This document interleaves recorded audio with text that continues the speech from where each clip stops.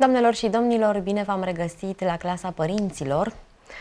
Astăzi avem ca temă, pentru noi mămicile în special, încetarea lăptării, soluții blânde pentru mame și copii. Alături de mine se află Daniela Toma, consultant în alăptare, acreditat uh, internațional IBCLC, Corectează-mă dacă... Este foarte bine, perfect. Bine ai revenit bine. la clasa părinților. Mulțumesc, bine te-am regăsit, bine v-am regăsit. Sunt uh, extrem de bucuroasă să ne revedem și să discutăm o altă temă. Se pare de mare interes în ultima perioadă, și anume înțărcarea. Bun, uh, pentru că sunt foarte multe lucruri pe care Uh, vreau să le, să le abordăm și sunt sigură că mămicile stau acum mm-hmm. ochi și urechi pentru că um, dacă nu pentru toate mămicile, pentru multe dintre mămici, procesul acesta este provocator, să zic așa. Exact. Bun, uh, prima oară aș vrea să ne spui așa în câteva cuvinte ce înseamnă, da, înțărcarea. Exact, ce înseamnă înțărcarea, pentru că uh, atunci când auzim de înțărcarea bebelușului, avem tendința să ne gândim uh, doar la momentul în care acesta renunță la a primi lapte matern sau uh, uh, renunță la a primi formulă din biberon, ceea ce noi numim înțărcarea de la biberon. Însă, de fapt, uh, uh bebelușul se înțarcă în momentul în care primește prima dată solide, este uh, trecerea de la uh, o hrană exclusivă de lapte matern sau formulă la o hrană complementară bazată și pe, uh, și pe solide, hrană solidă și anume diversificarea. Uh, și atunci uh, trebuie să avem în vedere faptul că uh, bebelușii sunt cumva pregătiți de procesul acesta încă din momentul în care primesc solide în jurul vârstei de 6 luni. Mai departe, ceea ce aș vrea să subliniez este că acest proces de înțărcare ar trebui să fie exclusiv decizia mamei și a copilului și nu a celor din jur, mai mult sau mai puțin binevoitori. Uh-huh. Da, cred că vorbeam și mm, atunci când am făcut uh, emisiunea legată de alăptare, uh, vorbeam despre uh, diferite perioade în care mm, ni se transmite din jur că laptele nu mai este bun, că uh-huh. ar mhm. fi să mănânce altceva, mai dai și niște ceaiuri, dai, dai, dai, că sigur nu s-a săturat Corect. și așa da. mai departe. Și atunci cred că toate Ehm, bine, ele sunt venite cumva cu bune intenții către Corect. mamă, așa că ne bazăm acum pe mamă să uh-huh, înțeleagă, uh-huh. da?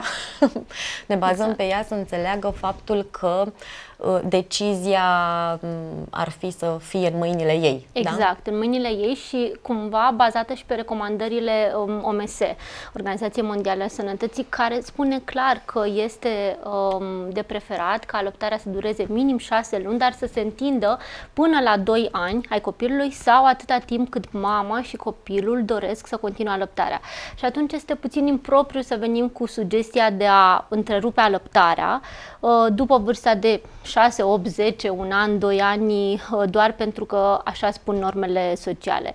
Uh, chiar aș vrea să încep prin asta ca să liniștesc puțin mamele și să spun că statistic vorbind la nivel mondial vârsta de, alăpta, vârsta de înțărcare este undeva în jurul la 3,8 4 ani. Uh, începe de undeva de la 3 ani, 2,8-3 ani și, se, și se, încheie, se încheie pe la 4 ani. Așa că un copil care are 2 ani nu este un copil uh, mare care nu trebuie să mai primească lapte matern, ci este cumva un copil care uh, ar trebui să fie hrănit în continuare la sân atâta timp cât uh, mama uh, se simte confortabil. Că asta este cel mai important, ca mama se simtă confortabil în a-i, în a-i oferi copilului uh, laptele matern. Uh-huh. Um, Bun, ținem cont și de vestea bună este în primul rând că odată ce începem diversificarea a pornit și procesul acesta de, de exact. înțărcare. Da? Natural. A pornit procesul, uh-huh. da, natural. Exact. Nu înseamnă că s-a întâmplat de tot, pur și simplu am pornit în acest uh, proces și se întâmplă în mod natural, așa cum ai spus și tu. Uh, ținem cont și de recomandările despre care spuneai. Acum să știi că există diferite voci din diferite specializări și nu vreau să insist uh-huh. pe mhm. subiectul acesta pentru că nu aceasta este tema noastră de astăzi, care recomandă și altele. Da? Mă refer la logopezi, spre exemplu, care, da? Nu vreau să intrăm în, în zona aceea, în, da. în zona uh-huh. aceea și vreau să rămânem pe, pentru că mi-a plăcut foarte mult cum ai spus tu, când, când simte mama. Crezi tu totuși că există vreun prag critic, să zic așa, un moment în care ar trebui să se întâmple sau să înceapă acest proces Mm. Al înțărcării. Depinde, da. depinde aici, vreau să vin cu completarea că există mai multe tipuri de înțărcare.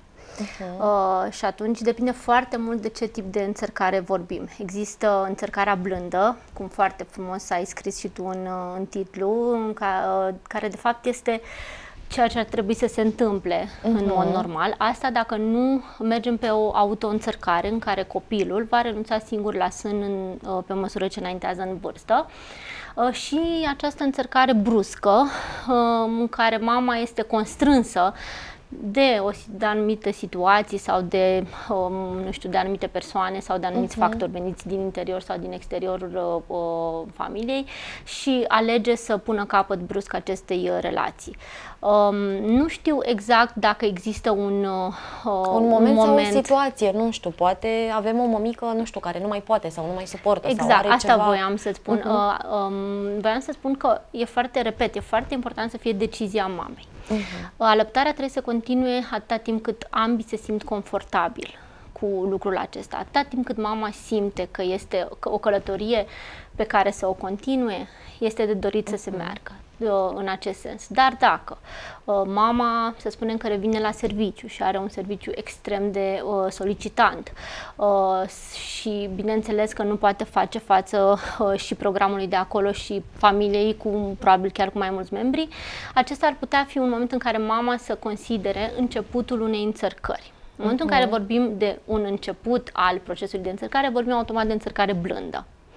Sau se mai întâmplă situația mai puțin fericită în care există tratamente medicamentoase mm. care sunt uh, clar incompatibile cu alăptarea și atunci mama este forțată să uh, întrerupă alăptarea într-un decurs de um, o perioadă mai mică sau mai, uh, uh, sau mai mare. Ce voiam să adaug legat de auto-înțărcare este faptul că uh, niciun copil nu va suge până la Uh, maturitate sau până, habar n-am, în copilăria. Unele mame se gândesc la asta. Unele mame se gândesc pentru că este atât de drăguț, mm-hmm. dar uh, uh, și sunt deschise, doar că uh, pe măsură ce trece timpul, copiii își dezvoltă propria lor personalitate.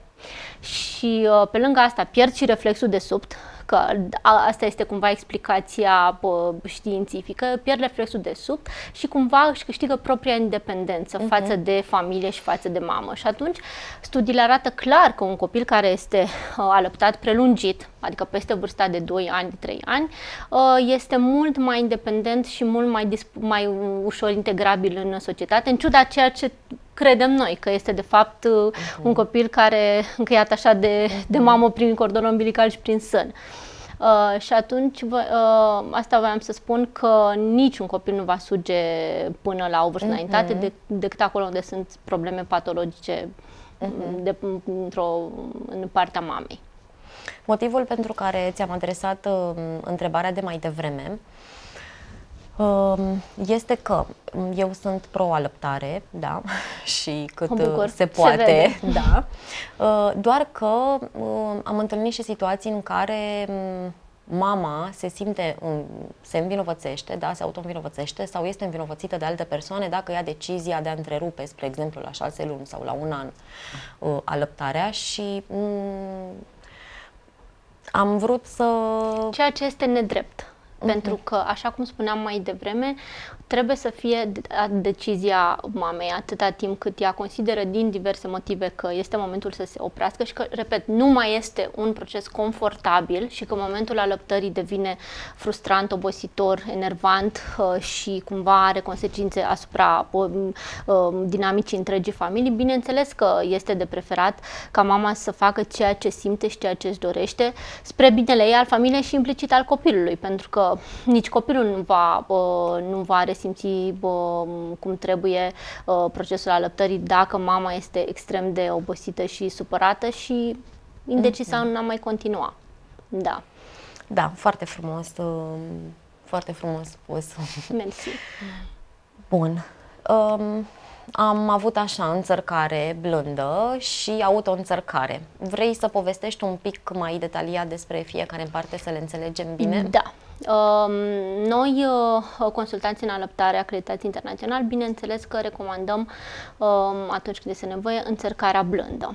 Uh, și nu numai uh, pentru copil, așa cum am avea tendința să gândim, a, este mai bine pentru copil, să nu întrerupem brusc, această călătorie frumoasă, um, nu numai pentru copil, dar și pentru mamă, pentru că este dovedit că nici pentru mamă înțărcarea bruscă nu este o alternativă și nu vine fără niște implicații emoționale majore fără sentimentul de vinovăție, nesiguranța dacă am făcut ce trebuie. Și atunci uh, încercăm să ghidăm mamele și familia, că este un efort comun, da. Da, spre această înțărcare blândă, care are multiple beneficii uh, și avantaje, însă unul uh, însă un dezavantaj care pentru noi deseori e foarte important și anume timpul. Durează mai mult. Încercarea blândă nu putem să spunem că se va întâmpla în 3 uh, zile, 7 zile, o lună, 3 luni. Depinde foarte mult de dinamica mamă-copil. Depinde cum reacționează mama, cât de decisă este mama să facă lucrul acesta, pentru că putem avea mame care spun, da, eu vreau să înțarc blând, reușesc să scoată câteva mese și peste trei luni mă sună și îmi spun, eu nu mai pot să continui, eu vreau să-i dau în continuare, ok, este, este foarte uh, bună și potrivită și corectă această alegere și pentru voi. Poți continua să-i dai în continuare, uh, poți continua să-i dai scuze, nu trebuie să te oprești. Și atunci, ce presupune înțărcarea asta uh, blândă? Cumva să merge pe principiu uh, în care nu îi refuzi copilului dreptul la, uh, la alăptare, dar nici nu îi mai oferi. De obicei, înțărcarea blândă intervine când avem un copil uh, mai mărișor, cu care să putem comunica, mm, nu neapărat verbal, dar care ne poate înțelege. Nu putem vorbi de înțărcare blândă la un copil sub vârsta de șase luni, unde clar acolo trebuie să fie hrănit în continuare mm, cu lapte formulă și uh-huh. asta e cel mai important dacă mama decide între alăptării, bineînțeles că se va veni cu completare de, de da. formulă.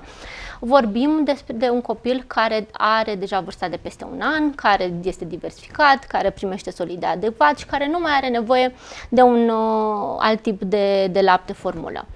Și atunci, cum spuneam mai devreme, mergem pe principiul acesta în care nu mai oferim la cerere sânul uh, și încercăm să nu îl refuzăm brusc. În sensul că uh, încercarea blândă se bazează cumva pe mai multe, uh, mai multe principii. În primul rând, încercăm să scoatem câte o masă, da?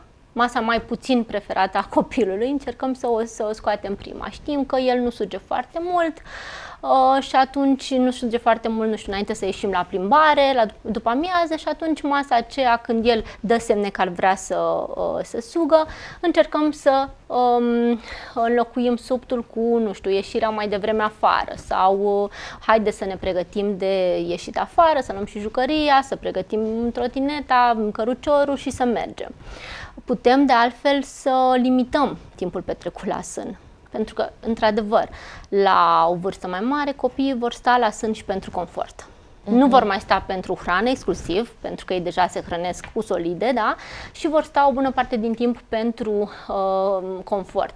Um, și atunci um, noi vom limita cumva timpul petrecut la sân, în sensul că alegem să, bineînțeles, comunicându-i copilului verbal, ca și cum am vorbit cu un adult, da, îi spunem, uite, nu, nu mai poți să stai la sân cum stăteai înainte, dar o să stăm cât cântăm cântecelul tău preferat, mm. și anume, sau până când numărăm până la 15 sau până când spunem uh, poezioara aceasta.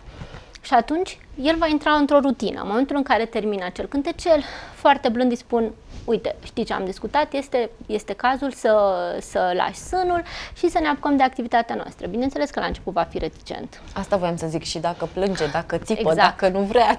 Exact. Uh, cel mai probabil da se va supăra, va plânge.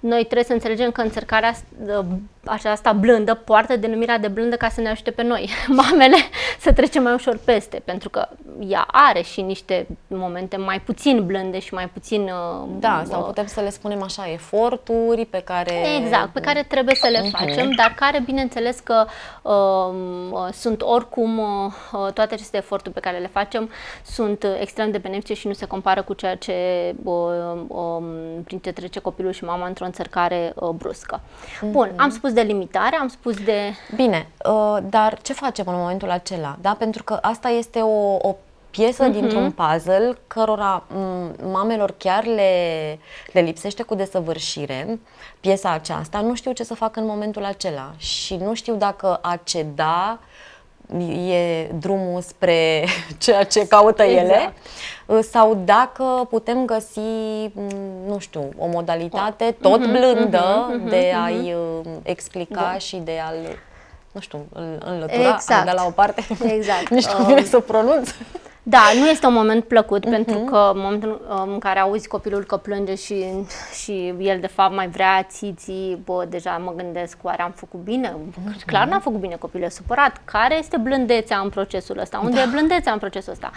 Și atunci avem două variante. Varianta în care explicăm, bineînțeles, explicăm copilului că știi, am discutat la început și discutăm de câteva săptămâni, de câteva zile că nu vei mai suge decât atunci, decât în perioada cântecului. Uh, și uh, ne continuăm, bineînțeles, îmbrățișându-l și, și uh, deci, explicându-i... tot pe blând. În timp ce copilul exact. plânge, da, în brațele noastre, știu, mamelor, e foarte greu, dar uh, o să vedeți că el, uh, el va înțelege și pe măsură ce aceste îmbrățișări vor fi mai dese mm, și vor lua locul uh, sesiunii uh-huh. de mhm. subt, el, el va înțelege că de fapt este în siguranță și că mama este încă acolo, pentru că aceasta este frica lui cea mai mare, că fiind luat de la sân, de fapt va fi separat de mamă și nu, se va, nu va mai fi în siguranță, nu va mai fi lângă persoana dragă și uh, nu va mai simți atașamentul pe care îl simțea până, până atunci. Și, atu- și așa cum spuneam, avem aceste două variante în care îi explicăm și stă, uh-huh. încercăm să trecem cu el prin momentele acestea. Uh, repet, aceasta fiind prima masă cea mai puțin plăcută pentru copil, da, pe care încercăm să o înlocuim. Iar a doua variantă este în care uh, încerc să-i spun, uite, mai pot să te las, dar nu mai mult de nu știu, de până când numărăm la, până la 10. După care, dacă copilul din nou este supărat, bineînțeles că va trebui să, uh, să ne luăm inima în dinți, să luăm copilul în brațe, să spunem cât de mult îl iubim și cât de important este pentru noi și să, um, și să trecem mai departe. Uh, pentru că, așa cum am spus, uh, sunt și în momentele acestea mai, uh, mai puțin plăcute. Uh, timpul este un element foarte important uh-huh. în uh, procesul acesta de înțărcare blândă și este un timp pe care mama trebuie să și-l uh, acorde ei și, uh, bineînțeles, copilului.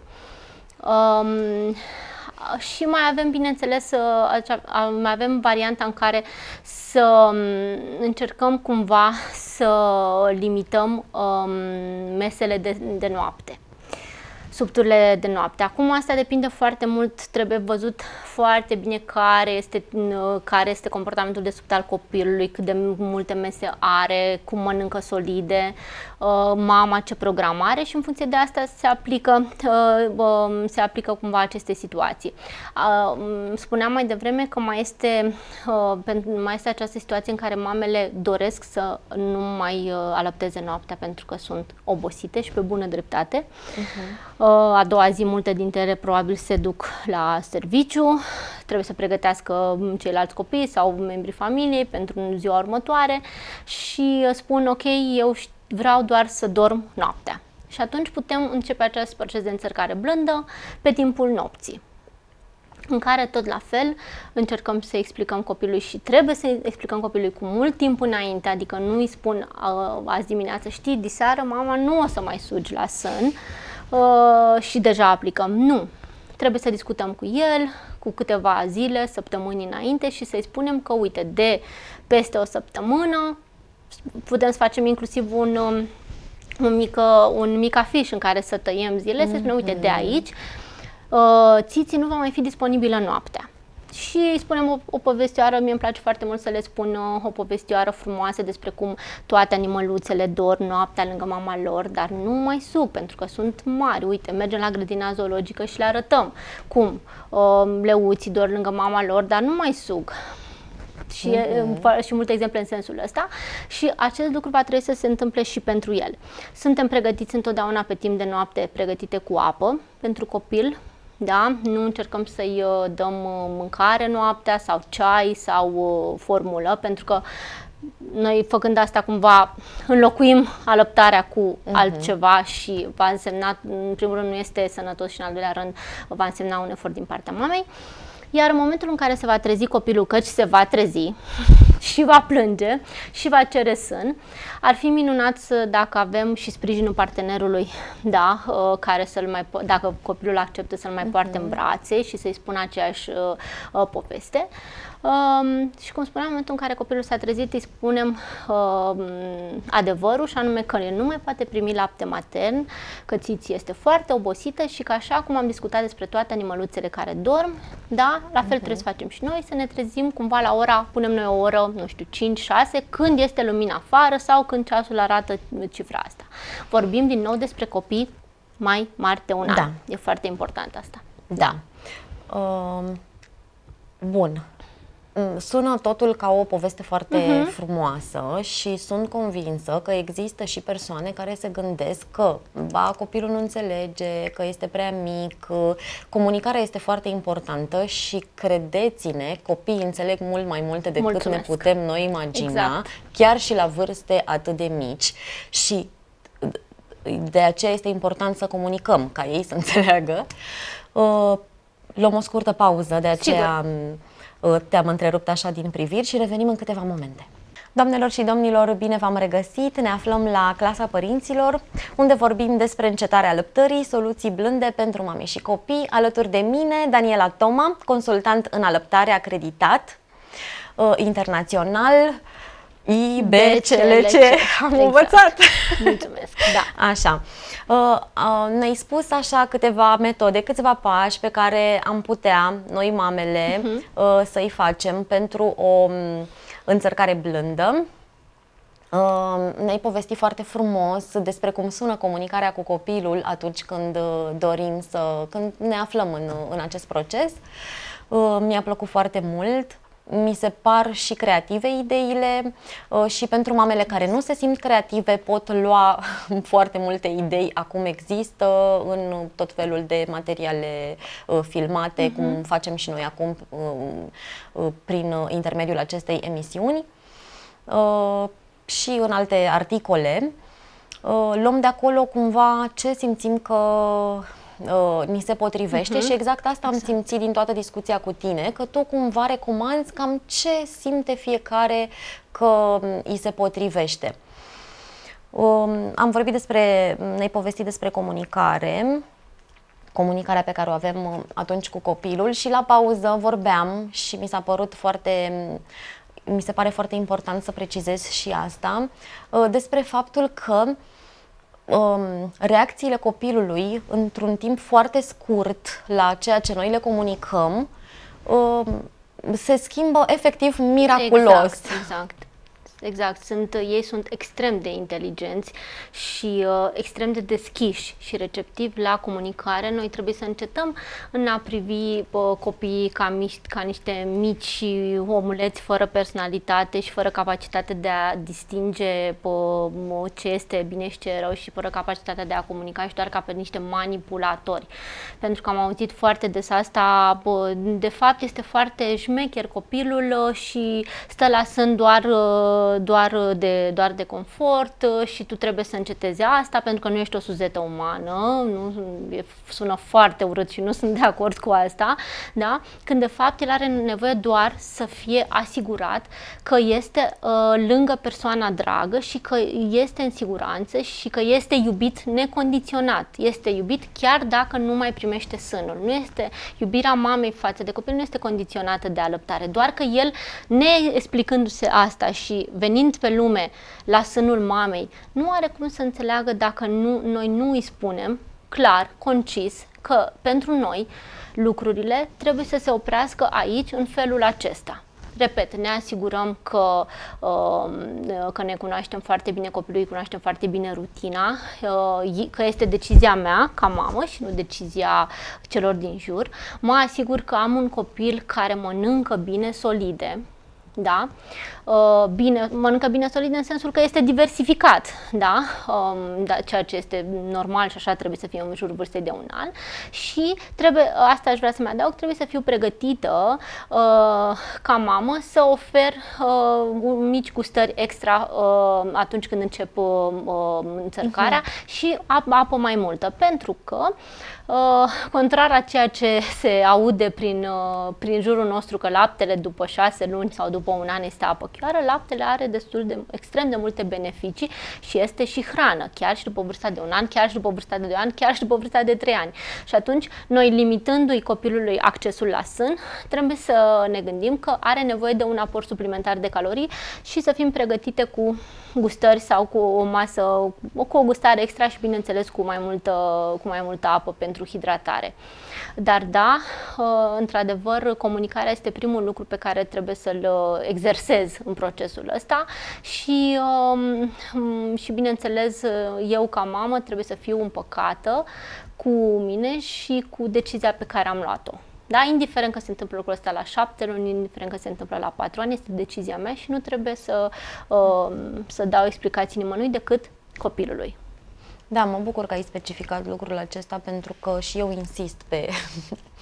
Uh, și cred că altfel se întâmplă lucrurile, dar chiar se întâmplă în, în avantajul nostru atunci când suntem împăcați cu, exact. cu asta. Da? Că Orice tot timpul faci. ai tendința ba să dai înapoi și nu te simți bine nici dacă ai dat înapoi, nici uh-huh, dacă ai mers uh-huh, înainte, uh-huh. nu te simți bine um, da. în niciun fel.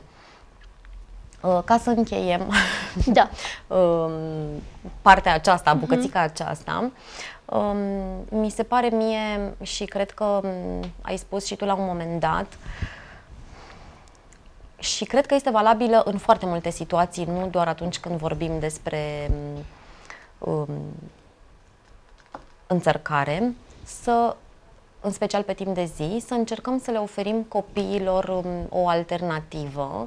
Exact. Uh, și aici mă refer și la um, ai spus tu frumos de îmbrățișări, ai spus frumos de gustări, de apă și jocuri. așa, mă refer, jocuri, da, asta voiam să, să insist pe, să subliniez de fapt um, ceea ce ai spus tu legat de, de jocuri și funcționează în absolut toate situațiile, că încercăm să-i luăm telefonul din față când este mai măricel, da?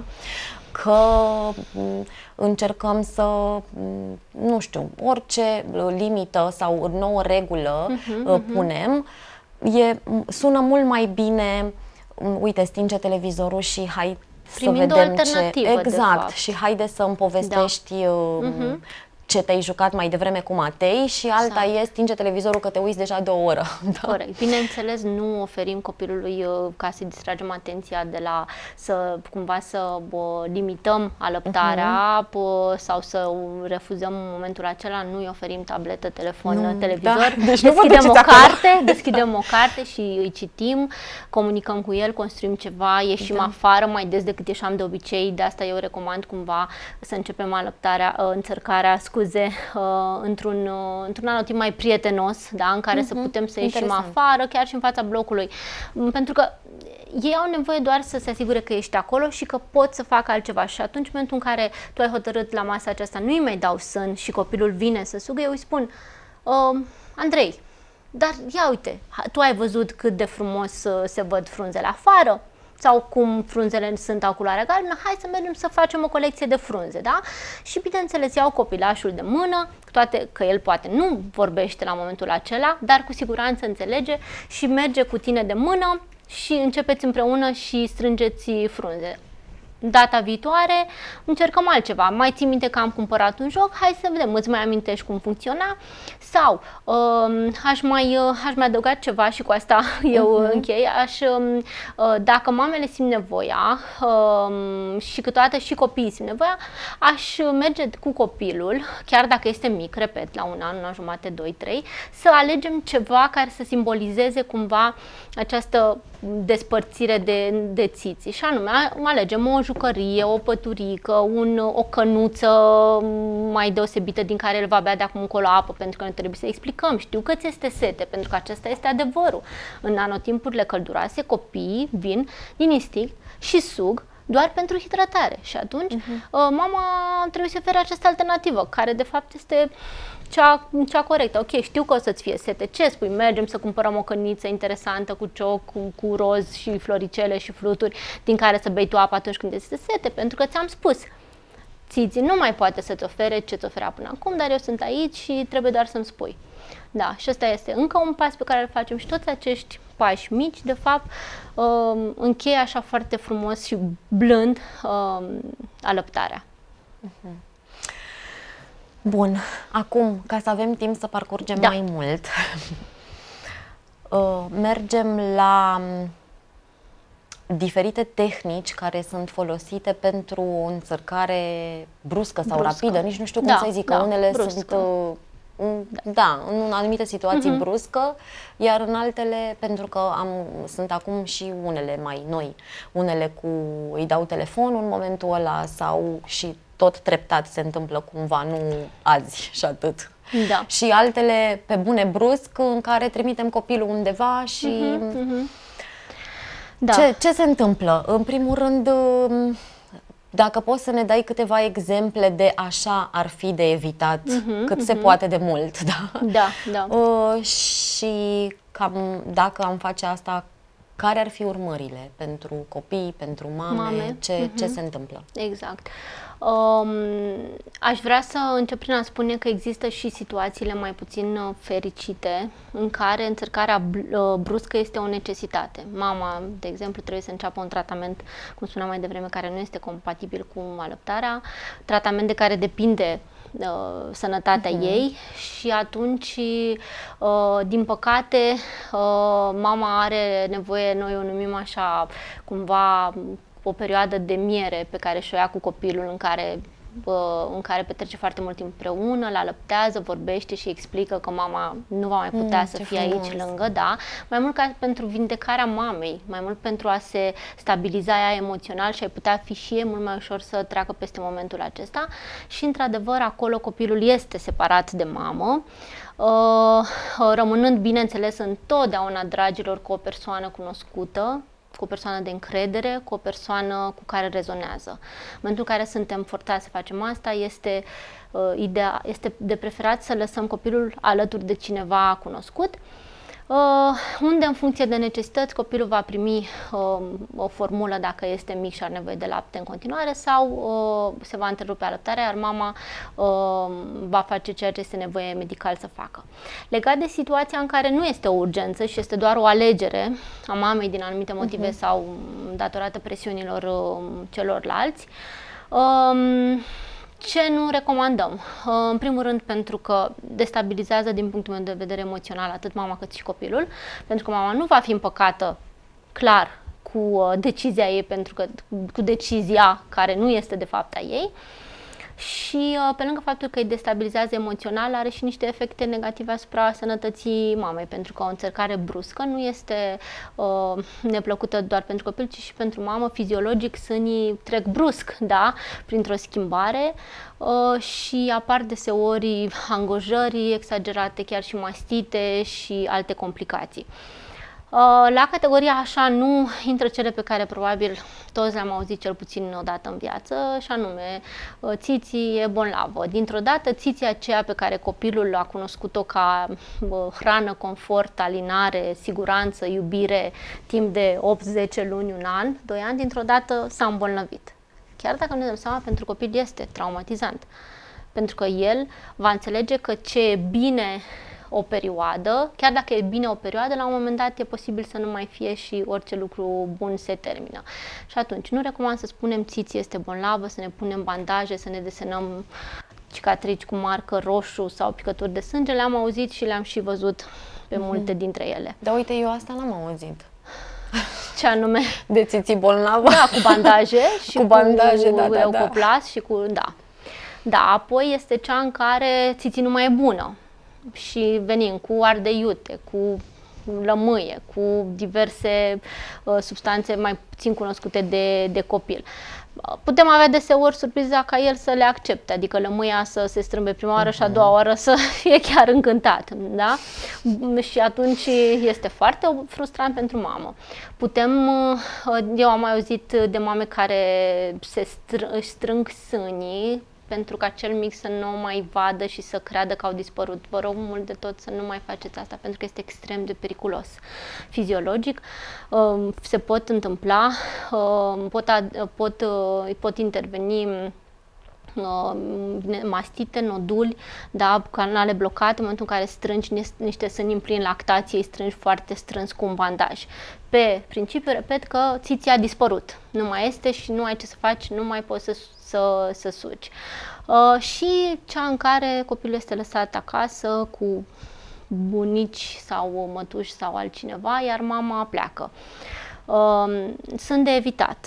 Dacă totuși mama alege să facă asta, recomand totuși să aibă foarte mare, mare grijă ce se întâmplă și cu sânii ei. Da? Pentru că eu primesc foarte multe telefoane unde uh, mamele îmi spun, știi, am, am vrut să-mi țar copilul și au trecut deja patru, patru zile, iar eu nu mai pot să am febră, am frisoane, bă, um, sânii sunt foarte tare, angorjați, simt că mai ia cu leșin, ce se întâmplă? Păi corpul cumva reacționează. Această trecere, schimbare bruscă nu este deloc benefică pentru, pentru sâni. Și atunci, dacă la înțărcarea blândă, inclusiv organismul și sânii uh-huh. da, o iau treptat în schimbarea aceasta, în trecere de la, non-lacta- la lactație la non-lactație, la țărcarea bruscă nu au timpul acesta și reacționează în consecință. Și atunci dacă alegem să facem asta, dacă suntem nevoite să facem asta, avem grijă să detenționăm sânii, da? să-i detenționăm, nu să-i mulgem, doar detenționăm puțin cât să nu mai simțim angorșați, să începem să bem ceai de uh, mentă, salvie, mult pătrunjel care mai reduc din lactație, foarte mult masaj, chiar și, uh, uh, uh, chiar și uh, brosoape calde pe sân ca să ajutăm cumva organismul și sânii să uh, să, să iasă bine din procesul acesta. Deci cam asta ar fi cu așa, nu. Uh-huh. Da. Da. Uh, nu știu, mă gândesc că um, și din punct de vedere um, fizic, și din punct de vedere psihologic, și din punct de vedere emoțional, și din punct de vedere al relației um, pe care um, ne-o dorim uh-huh. și um, o avem cu, cu copilul nostru, ar fi să evităm și doar în cazuri de urgență, cum ai spus și exact. tu, să ținem cont de um, mi se par niște idei extraordinare de ce spuneai mai devreme cu perioada de miere sau cum mm-hmm. ai mhm. spus da, tu. așa, o da. o perioadă de miere în care mama bă, încearcă să-și, să se liniștească și să, să accepte și ea că de fapt călătoria asta frumoasă trebuie să se oprească brusc din motive mai puțin uh, dependente de voința ei, da. Um, în emisiunea legată de alăptare am tot vorbit despre mituri, dacă da, îmi aduc uh-huh. bine aminte. Există și legate de mm, uh, înțărcare? Bineînțeles, da, există.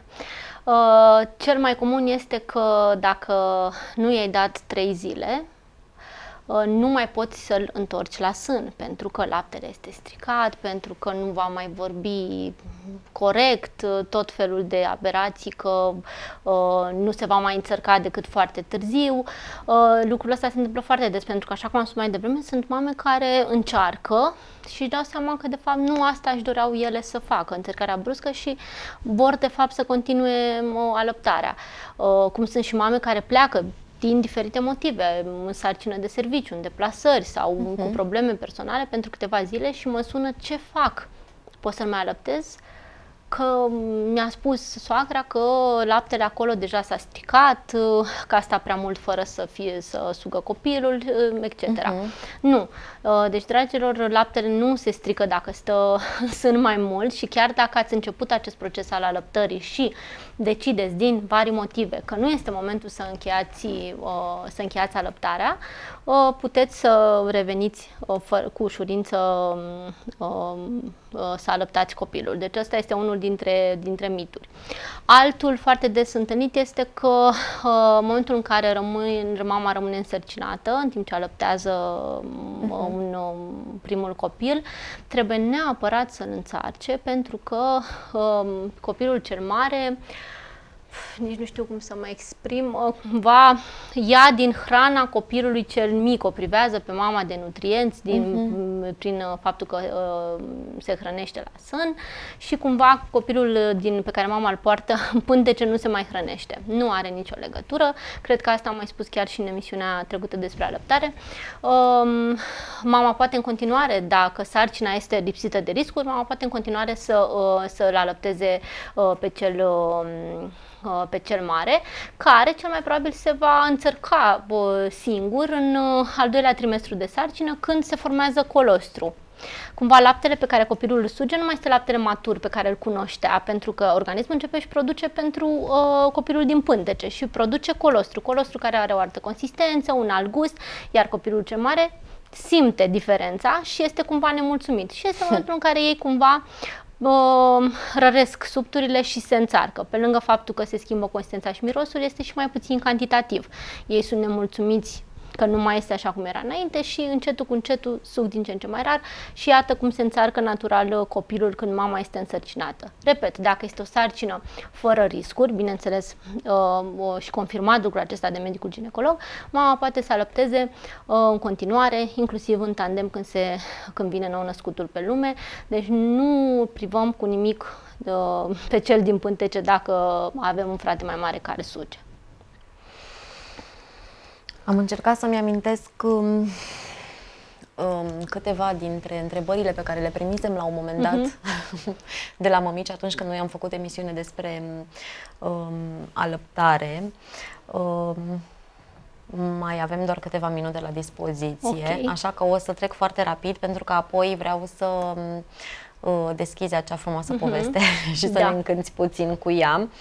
Uh, una ar fi um, legată de, de perioada în care se întâmplă um, înțărcarea, în sensul că uh, se temea mămica de faptul că dacă nu îl înțarcă acum cât este foarte mic, îi va fi mai greu când copilul va fi mai mare, ceva de genul acesta. Mm-hmm. Da, depinde ce înseamnă prin mic. Uh, copil mic. Bebeluș. Bebeluș, da. da. În primul rând nu este recomandat să, uh, să întrerupem alăptarea mai devreme de șase luni. Nu, nu, nu. nu. Că între șase luni și între un șase an, luni și un an. Cât se poate de repede ca să nu...